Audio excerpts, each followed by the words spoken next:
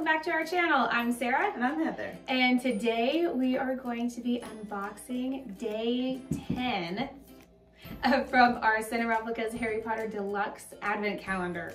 So um, the last couple days there's been a few shenanigans that have happened, but so far um, everything is good. So we will go ahead and um, get to day 10. Before we get into this video, please don't forget to like and subscribe so you don't miss a video every time we upload.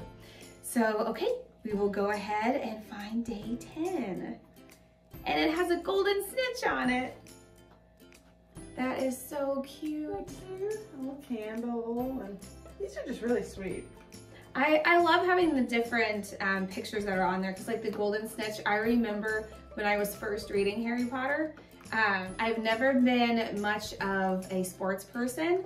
Um, and so I was thinking, okay, I really want to understand Quidditch because it is a fairly big part in the books. Mm -hmm. um, and so I remember just sitting and kind of studying the books to try to figure out how Quidditch was played because I wanted to make sure that I understood it when we got into further books. So, and the Golden Snitch I thought was always the coolest.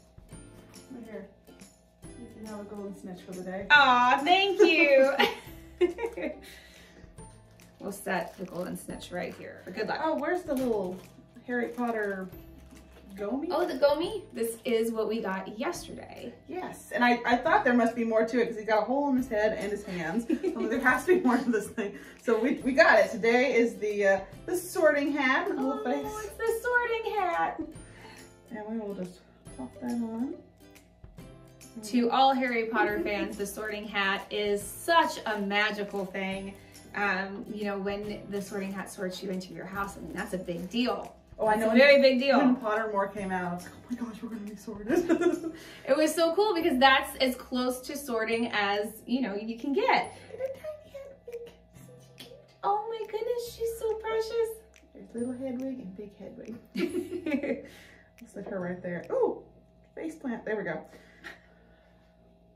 Oh, and this is the Harry's letter. It's got it's got the whole thing. It's got Mr. H. Potter, the cupboard under the stairs, and this his whole address, 4 Privet Drive. That is really cute. And since Pickett tried to steal it yesterday, well, we said we'd let him have it. So. Yeah, we did. Here you go. Here you go, buddy. So we will set Harry back there and Hedwig with Pickett. There we go. I think he'll be very, very happy about it. Thank you so much for joining us today, and we hope that you join us tomorrow for day 11. See you next time. Bye.